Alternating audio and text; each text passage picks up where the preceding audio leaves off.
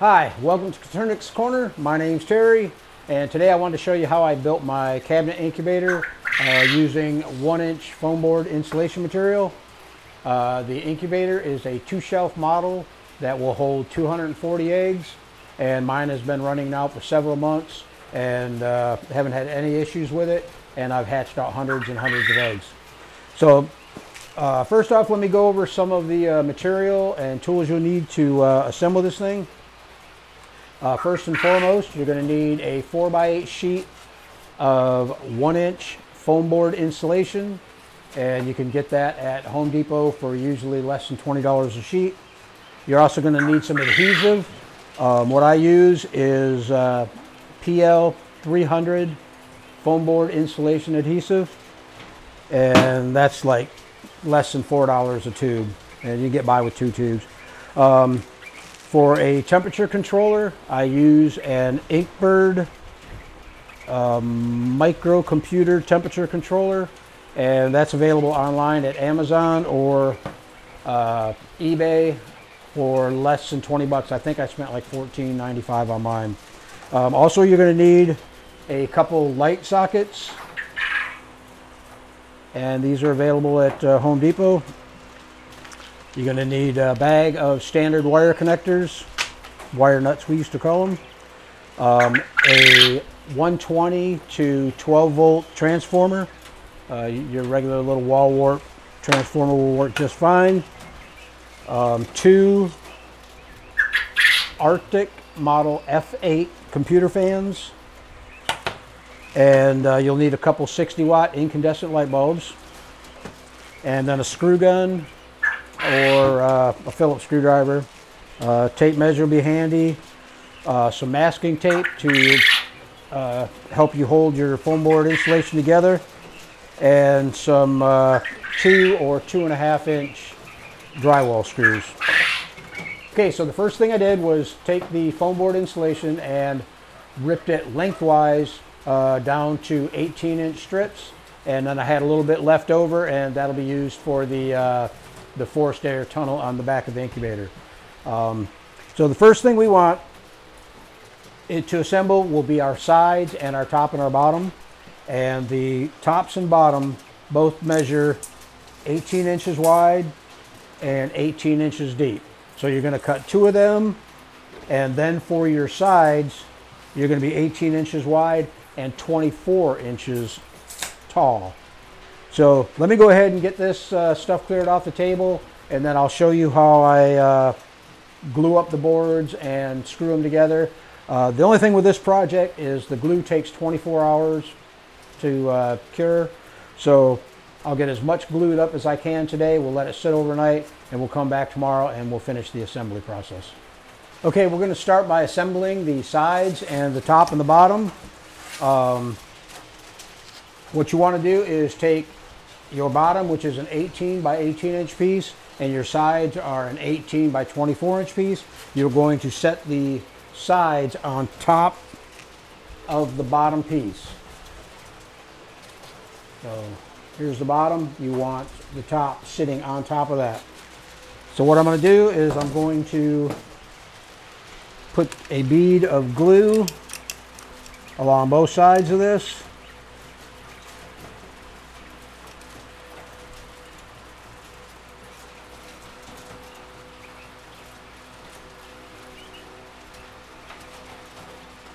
Then once I get the glue on, I'll, I'll go ahead and stand it up and uh, screw the pieces together. Now sometimes what I'll do is I'll take the masking tape and I will tape the uh, the edges just to hold it in place before I glue it, but we'll see how it goes. Okay, so what we'll do is we'll stand this up like this, bring one of our sides in, do it on this side so you can see what I'm doing. I think I'm going to make this one all pink on the outside. My other one had a bunch of writing.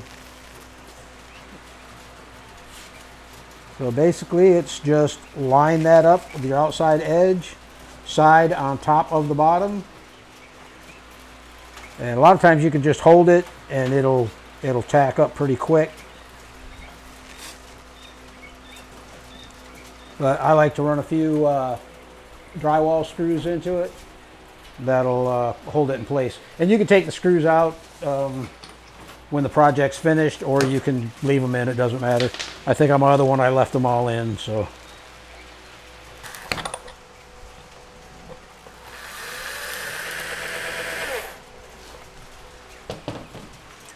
Okay, I'm going to stand it up and uh, we'll put a little more glue on the tops here and we'll screw our top on. Uh, where's my caulking gun? Here we go.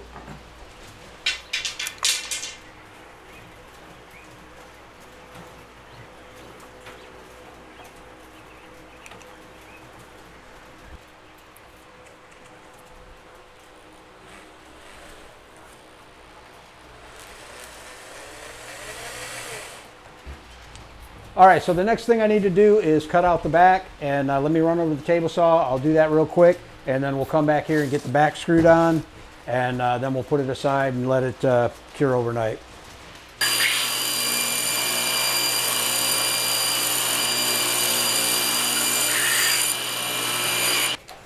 Okay, so I got the back of the incubator cut out and the measurements on that again are 18 inches wide by 25 and 3 quarter inches tall.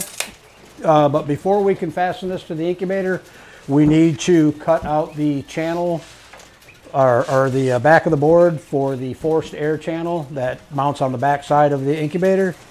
And uh, the measurements on it are three inches up from the bottom. And then this is six inches wide and this opening is two inches wide.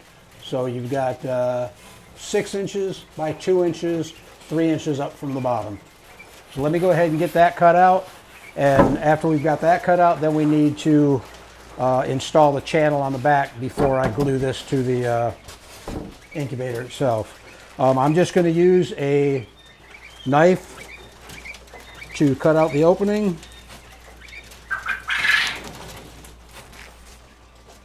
And usually what I'll do is I'll take a utility knife and scar it.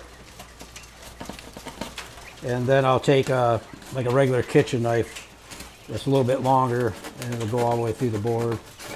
Okay, so once you've got the bottom opening of your forced air channel cut out, we can go ahead and cut out the top one. And I've already gone ahead and marked that on the inside of the panel. Um, basically what you want to do is you want to measure up three inches from the bottom, mark you a line, and then from the edge, measure in nine inches, mark your line vertically, and then we'll draw the two circles for the opening uh, for the fan. Um, and what I did for the uh, circles was I just used a cup and that fit pretty good over the opening of the fan, just about perfect. So I just set that on there, drew a circle around it, and same on the other side. Okay, so let me go ahead and get those two cut out and then we'll be ready to start assembling the forced air chamber itself.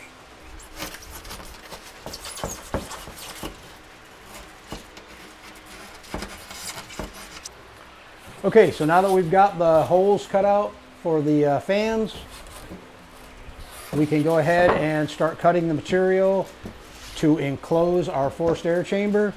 And I'll go cut them out and I'll come back here and I'll give you all the measurements and everything you need for that.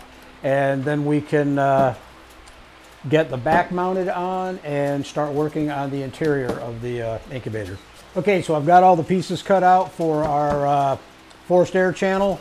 Um, the back of the channel is going to measure 24 inches tall and 9 inches wide. So you, you need to cut that piece out. And then we've got uh, the two side pieces are 24 inches long by inch and three quarter.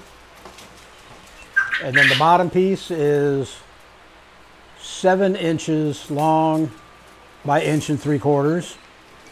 And then the top piece is going to measure nine inches wide and two and just about three quarters inches uh, tall, top and bottom. So what I'm going to do is I'm going to go ahead and uh, get this channel assembled We're not gonna we're not gonna fasten it to the back of the of the uh, back piece yet until we get the fans mounted.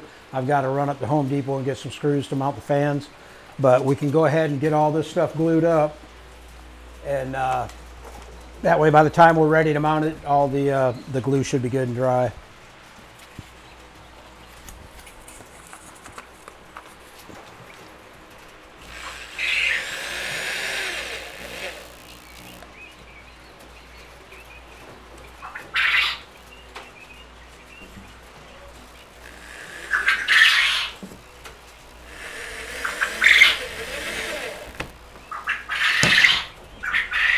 Okay, so now that we've got the sides and the top and the bottom of our forced air chamber glued together, we can go ahead and mount it to the back of the cabinet.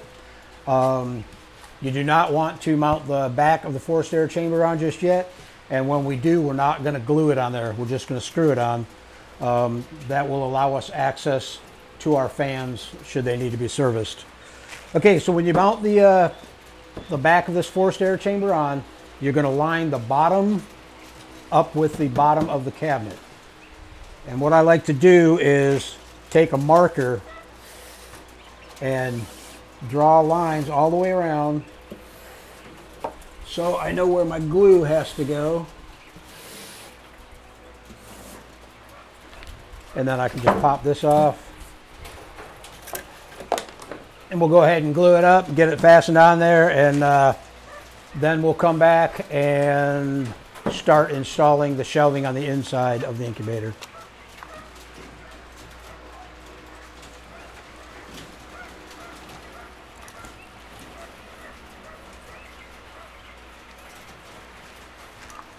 Okay, so once you've got that attached, it should look something like this.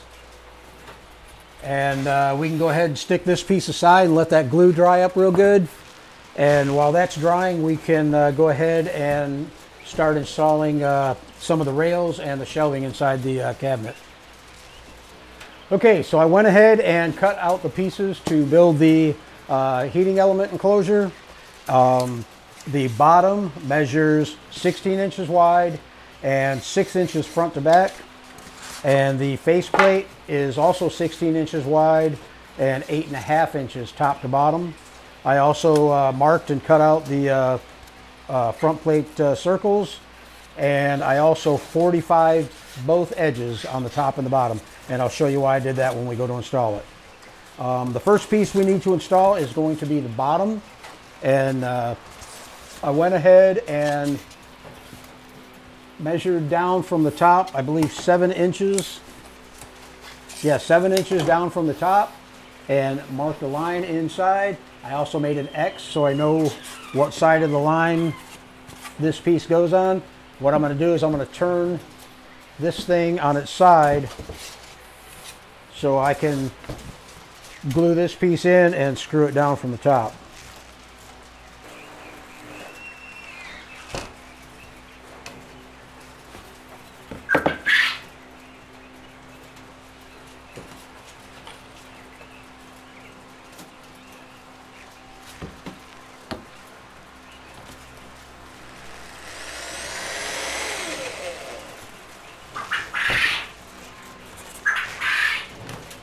Okay, now that we got that bottom piece in there, we'll go ahead and show you how this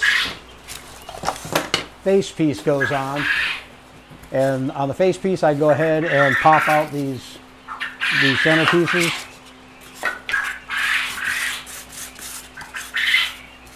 And the way this is going to fit, let's see if you can see this, if I can do it here. It is going to, I'm going to do it from the other side.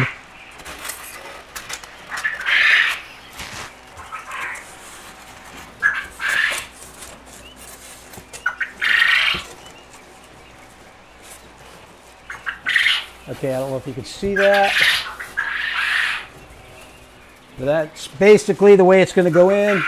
And I'll just uh, glue that up because it really doesn't need to be screwed in.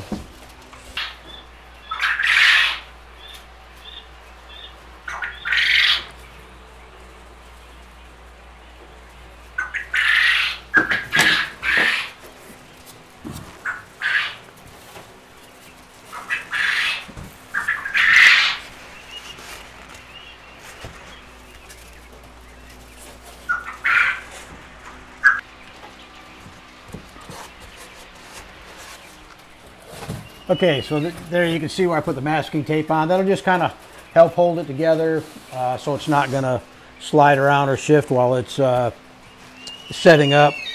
Um, the only other thing I want to do now before we set this piece aside is I want to drill our openings for our uh, light pigtail receptacles, whatever you call them. And they'll basically mount in there. So what I did was I marked my center this way, which is nine inches. And then on center, I think it is, hold on, I'll tell you. Um, it's two and a half inches from the back uh, to the center line. And then at nine inches, that'll be on center. And these are four inches on center. Yeah. Center to center, these bulbs are four inches apart.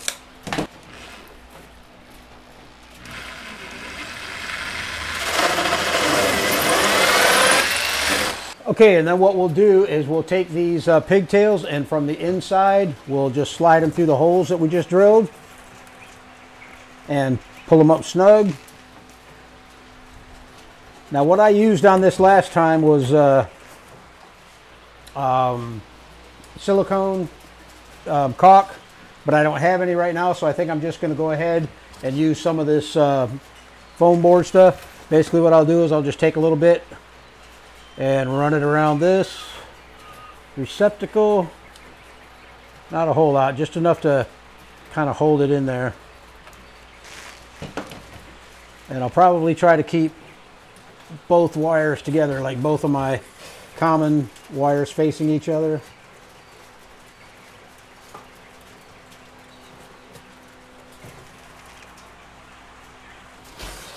Okay, let's see if we can get this to where you can see them. Okay, here's the, the two outlets. And uh, the bulbs will set here. The fans will blow across the bulbs and the heat will go out these two holes here and into the uh, area where the eggs are at. Okay, so now that the light receptacles are installed, I can go ahead and cut up the pieces that will uh, mount to the sides uh, for the rails that the egg turners and the uh, hatching trays can ride in on. So let me go ahead and do that and I'll come back here, we'll install them and then I'm probably gonna have to take a break for the night and uh, let this stuff all cure up. We'll come back tomorrow, we'll install the back and the door and get all the electrical stuff wired up. Okay, so I've got the uh, rails cut out and uh, ready to install. Um, the top rails measure 18 inches by 2 inches tall. The bottom rails are also 18 inches, but they're 5 inches tall. Um, it doesn't really matter how high this bottom rail is, as long as your eggs sit higher than the opening for the forced air intake at the bottom of the incubator. Okay, this top rail, it sits, uh, what's my tape measure? The top rail sits 12 inches to the top of this rail from the bottom of the incubator. So when you install it, see you can see that over there? Um, it's good. You're going to measure up from the bottom 12 inches and then the rail will install on the bottom side of your 12 inch mark. That way you'll have enough room between your bottom eggs and your top eggs. You can get the, uh, the um, egg trays in there or the uh, hatching boxes in there.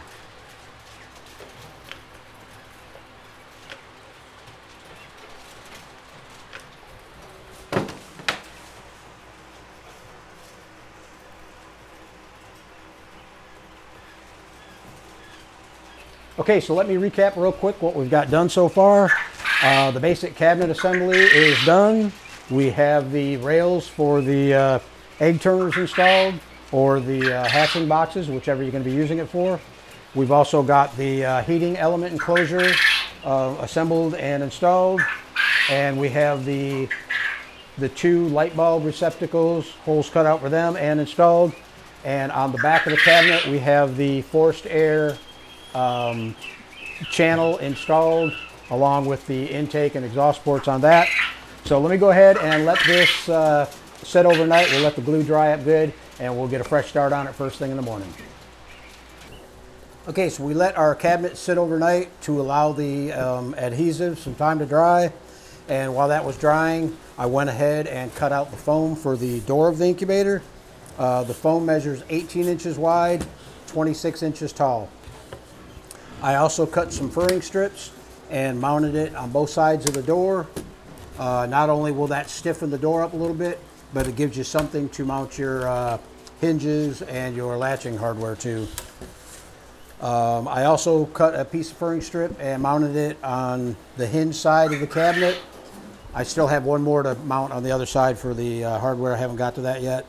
Um, but also, I've decided to use this uh, cabinet as a lockdown incubator only, and which means I'm going to be sliding my hatching trays in and out. So I mounted some furring strips on top of our rails, and that'll just kind of protect that foam a little bit. Okay, so now we can go ahead and mount our air circulation fans to the back of the incubator. Um, I went ahead and wired the two fans together using uh, plastic coated wire. Uh, that way all we've got to do is uh, mount, them, mount the fans to the board using these four holes. Uh, what I'm using to mount the fans with are two and a half inch long number eight machine screws and they fit perfectly through the uh, pre-drilled holes, the pre-drilled mounting holes on the fans. And then what I'll do is I'll just flip that over. see if I can get a shot in there. And I'm going to put a uh, uh, lock washer and a nut on each one.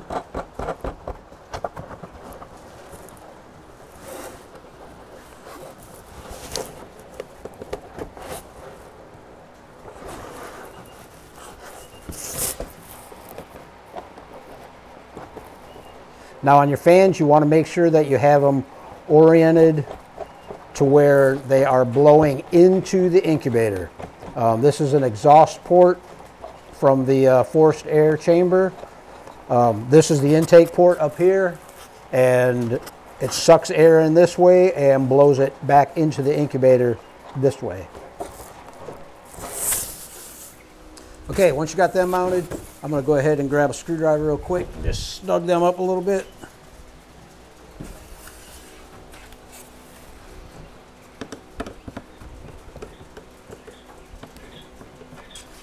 Okay, so now that we've got our uh, circulation fans mounted, we can go ahead and mount our back onto the incubator.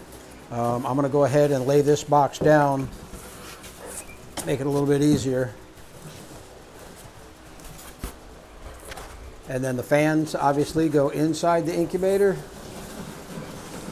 And on your wire, uh, you can either drill a hole through the top of the cabinet. Uh, these wires are pretty flat, so I'm just to let them run right through the uh, where the two boards meet. Uh, let me go ahead and get some uh, caulk on there or some glue on there and we should be good to go.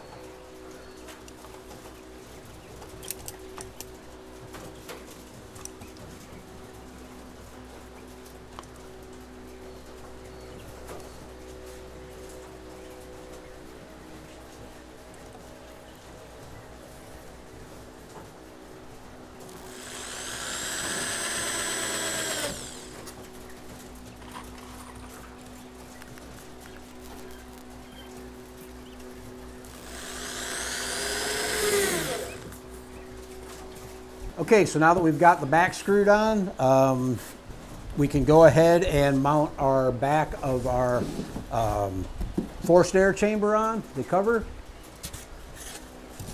And basically that's just going to slide in place like that. And uh, that will just be screwed in place. We're not going to glue that down because if you ever need to access your fans, to change your fans out or whatever, uh, you need to be able to take this back off. So let me go ahead, I'm gonna lay it face down again and I'll run a couple screws into that and uh, then we can uh, hang the door. Okay, so we've got the fans installed, we've got the back on, and we have our forced air chamber enclosed. Uh, now we go ahead and mount our incubator door. And after that, we'll start working on the electronics. Okay, so before I mounted the door, I decided I wanted to put a viewing window in the front door. So I found a piece of uh, plexiglass that I had uh, left over from the last project I worked on. And I laid it on the door and I traced around the outside of it. Then I measured in about a quarter of an inch and I cut that all the way out. And then I went back to my original line and I cut only halfway through the foam. And then I went in this way and cleaned it all out. So I got it like a little uh, shelf or ledge there for the plexiglass to sit on.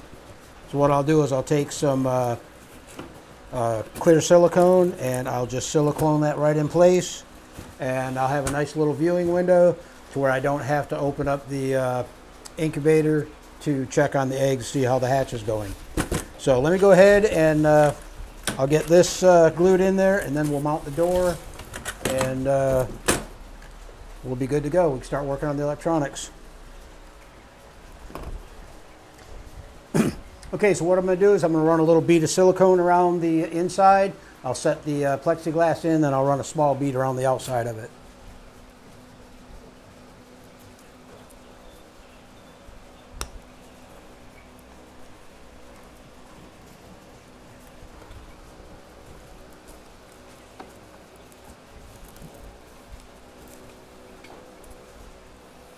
Okay, now I'm going to run a just a small bead right here in the corner just to uh, help with appearances basically. It'll also help hold that plexiglass in. Okay, so there's the, uh, the finished door. We've got a nice little viewing window in there now. Um, I'm going to go ahead and uh, instead of hanging the door now, I'm going to set this aside and let that silicone uh, set up a little bit. Um, but what we can do is we can start working on the, uh, the electronics and uh, get that stuff installed. Okay, the temperature controller that I'm going to be using for this incubator is an Inkbird ITC um, dash 1000F. Um, it's relatively inexpensive. You can pick them up on Amazon or eBay for like 15 bucks. Um, they're pretty easy to wire if you have any understanding of electricity, and even if you don't, uh, you could probably figure it out. Basically, all this does is interrupts the load side of the power, turning the uh, lights on and off. Um, it comes with a uh, temperature sensor probe that what I'll do is I'll drill a hole through the top of the uh, cabinet, run it down into the incubator and set it on my top shelf of eggs. Uh, because heat rises, uh, the top shelf is obviously going to be warmer than the, the lower shelves. But I have noticed uh, in my other incubator, the difference in temperatures between the top and bottom shelves is like a half a degree, maybe three quarters of a degree at the most. Um, I'm going to move over to the other camera and show you the, the back of this and how you wire it up. And uh, then we'll go ahead and get it wired up on the cabinet and uh, turn it on and show you how it works. Okay, so you can see on top of the temperature controller, they put a uh, diagram to help you wire this thing. Uh, pins one and two are your power and your neutral, your load and your neutral. Pins three and four are your uh, sensor probe, and pins five and six are your uh, heating element switch.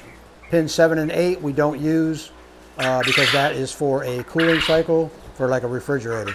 So we're not going to worry about those two. Okay, the only other thing you're going to need to uh, wire up the temperature controller is a uh, power supply cord.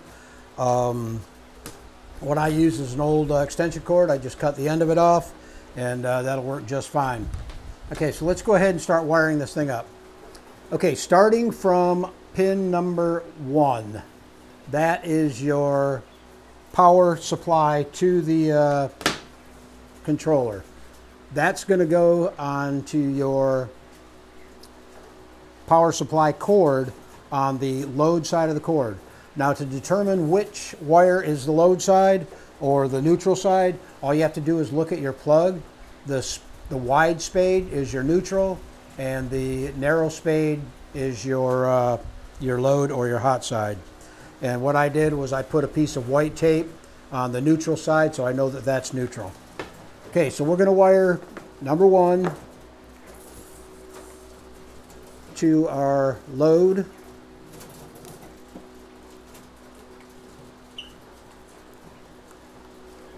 And right now I'm just using uh, wire nuts to put everything together. You could get fancy and build a, box or get you a, an electrical outlet box and uh, you know wire it up real fancy, but I'm not too concerned with the fancy. Okay, wire number two or pin number two is going to our neutral wire for our power supply cord. It is also going to both neutral wires on the uh, pigtail uh, from the light bulbs. Now, if you're not comfortable wiring up something like this, please try to find somebody that, that knows what they're doing. Um, because one, you could get hurt, and two, you can fry your uh, temperature controller if you don't wire it correctly. Okay, so we've got pins number one and two wired up. Uh, pin number one is going to the hot side of our power supply cord. Pin number two is going to the neutral side of our power supply cord and also to the two white wires coming off of your uh, light receptacles. The, that, those, the white wires is denoting that that is the neutral side. Okay, so what do we have left is uh, pins 3 and 4, and those just wire up to your sensor probe. They can go either way, so you can't mess them up. And pin 5 is a jumper wire from pin 1 to pin 5. So just cut you an extra wire, stick it in pin 1, run it over to pin 5, and wire it in there.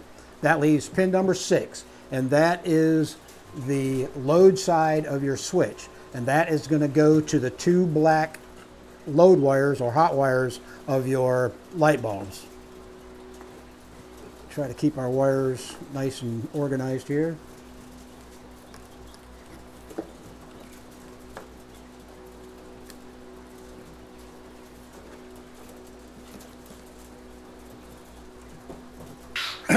okay, so now that we've got everything wired up, uh, we can go ahead and program our temperature controller. Uh, because we don't have a door on the incubator, I went and stuck the uh, sensor probe inside the enclosure where the two light bulbs are. Uh, let me go ahead and plug this into a power source.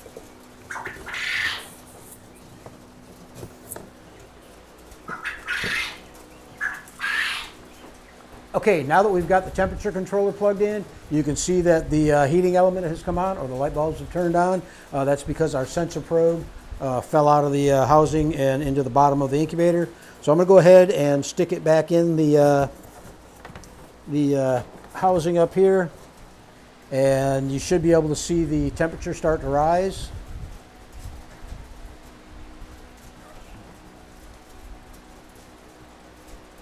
Okay, yeah, it's climbing up. Um, it'll get up to uh, 99 degrees and then it'll shut off. That's what I have it set at. Uh, let me show you real quick how you uh, program this thing. Uh, basically, you have four buttons on the front of the temperature controller. Upper left is power. Um, below that is S for set, and then your two control buttons up or down. If you press and hold set for three seconds, it'll take you into the programming mode. Uh, T5 is your temperature. So you press set again if you want to set the temperature. I have it set at 99. If you go up, you'll either go to 100 or go down, you go to 98. So you need to set it at 99 and it will actually get to 99.5 um, because of the residual temperature or the residual heat off of the light bulbs. Okay, so it got to 99.1 and it shut off and it should keep climbing because it's so close to light. Yeah, see, it's 95. It's actually going to get up hotter than that because it is so close to them light bulbs. Okay, so we've got the uh, temperature controller wired up and programmed. The only thing left to do is wire up the fans and hang the door. Unfortunately, I can't wire up the fans today uh, because the transformer that I've got for this is only a 5 volt transformer and I need a 12 volt to, uh, to wire the fans. But the fans are pretty simple. Um, basically, you just got a positive and a negative wire. Um, just wire those to a 12 volt source and uh, your fans will be working. Um, you could also put a switch um, on your box somewhere and wire it to that switch and then wire the switch to a 12 volt source. That way you can turn your fans on and off. Okay, the only thing left to do is to hang our door. Uh, the silicone on the viewing window dried up nicely. Um, the only thing you're going to need to do this is a couple shims to place under each side of the door um, to hold it up while you're uh, screwing the hinges in.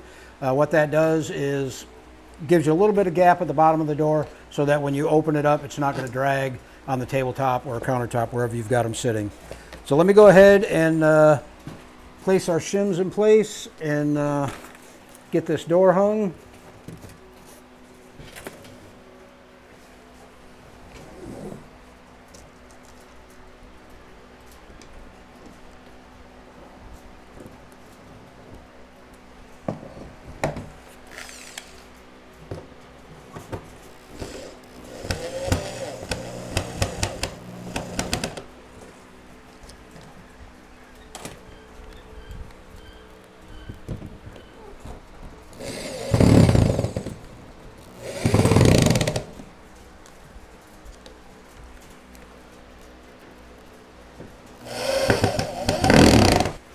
Okay, so we got the door hung and it seems to be working just fine.